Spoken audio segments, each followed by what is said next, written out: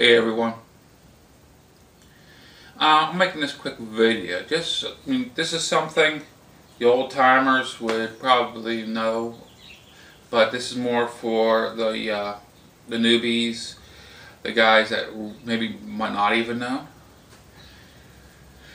This is, I'll give you a little story first, on a little bit of background on this first. Um, last time that I had a uh, flat the, uh, on the rear of the goat, KLR 650, um, I threw that tube away, grabbed well, my my last, well, I, it was my backup tube. I threw it in and it was, I patched it a while back. Figured it's holding air, it should do me okay for a while. I'll order another tube. Well, whenever I did that, I just happened to forget to order another tube. I mean, life's been busy. But I had a brand new spare front tube and I didn't, wasn't thinking at the time about this though.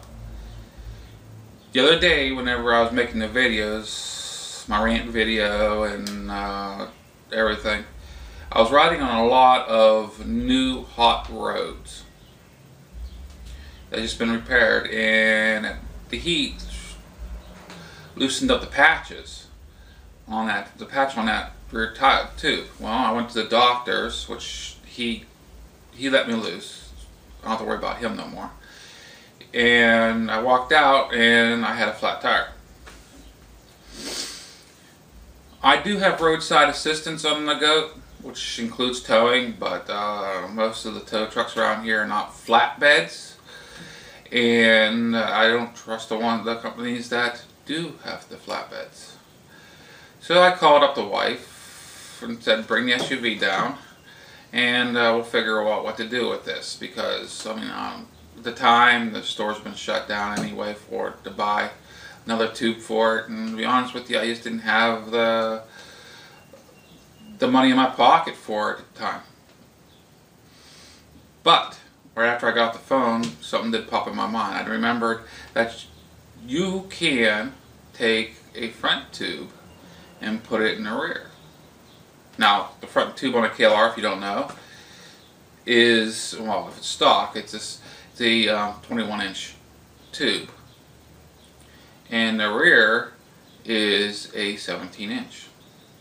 And actually, well, as you know, the rear is wider too. too. It's a 4.0 to 5.0. And the front is just a narrow one. I think it's a uh, 2 points, well it's like a 2 point something to a 3. But anyway, whenever the wife got in, I didn't have any way to really get the goat up in the air. I could have laid her down. I really didn't want to do that in the parking lot. Um, I could have taken the box off yeah, if I would have had the extra hand, because I mean I'm still healing up my left arm a little bit. I was told take it easy, don't do any crazy things with it for at least up to six, eight months after surgery. So I had her, I drove back to the, my garage and uh, picked up a jack stand, which I'll be carrying a jack stand in my can now, just in case. But I found, and I switched the tube over, and limped it home. Now, you do not want to be hard on the turns. You want to layer in. You don't want to, you want to take it easy. You want to keep your speed down. Be sensible about it. Just limp it home that way. Um, just figured I'd make this up for the newbies. I mean, it's, uh, most bikes don't have the tubes. The, the dual sports normally do. Uh, just a little bit of a little bit of helpful hint for you guys that are just starting out. Hope somebody can use this video. This is Muzzle Mike. Have a great day and ride safe. Signing out.